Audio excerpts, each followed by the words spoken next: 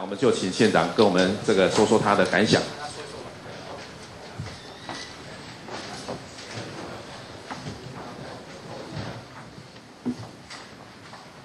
呃，非常感谢呃各位媒体的关心。那么，我首先要感谢的是，这三十年来，从两百万零六千的县民，到现在将近三百八十五万的县民，大家一直要求，一直支持台北县要升为直辖市。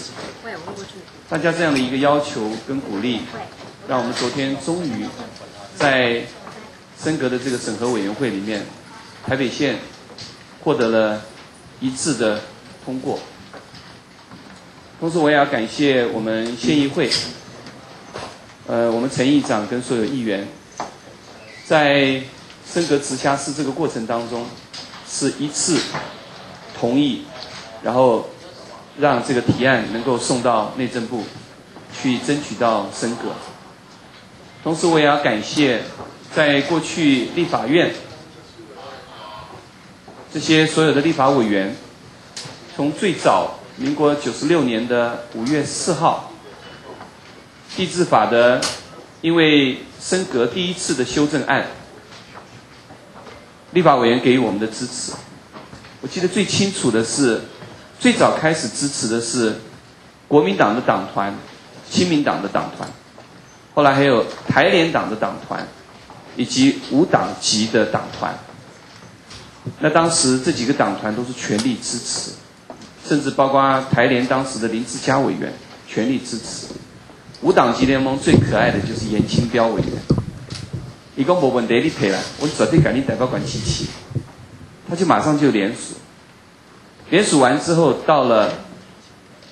提案表决的当天的上午。民进党的党团才联署，那所以等于大家都联署通过之后，台北县可以升为准用直辖市，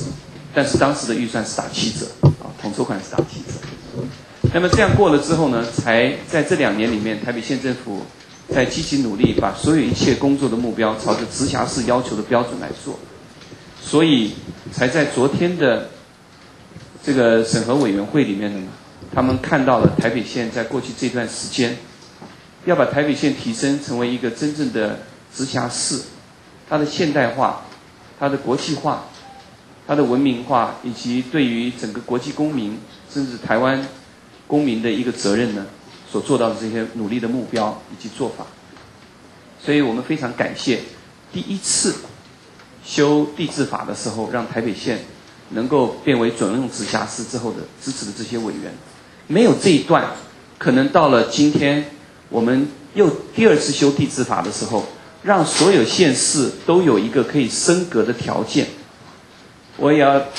感谢民进党的立法委员跟国民党的立法委员。民进党是由赖清德这几位委员所做的提案修改地质法，以及国民党的立法委员所做的修改地质法的提案，里面有两项都是非常清楚的，就是可以让现在的县市借由合并。或者单独升格为直辖市。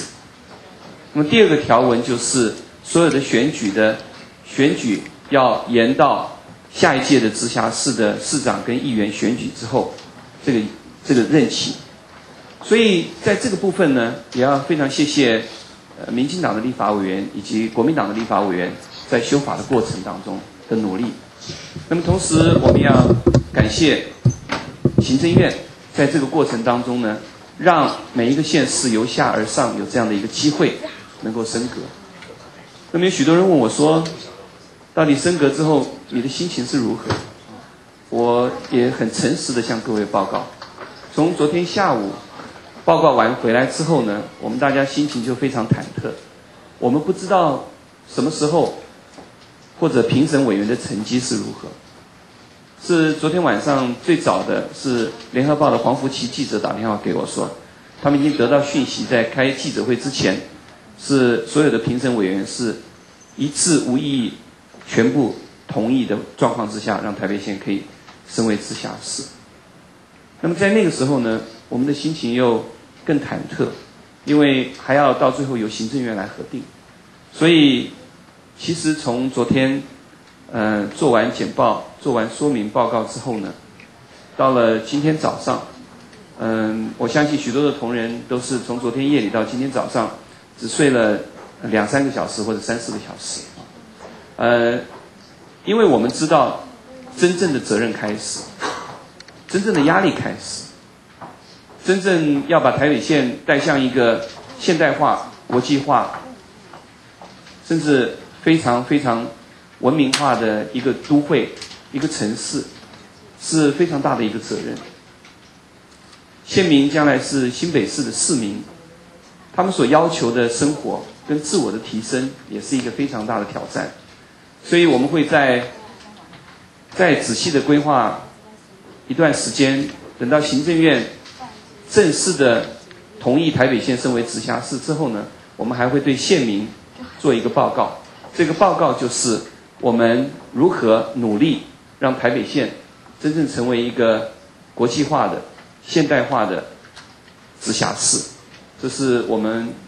必须要向县民做的一个报告以及说明。那么，我想，呃，我先跟各位呃讲到这里，我非常的感谢大家。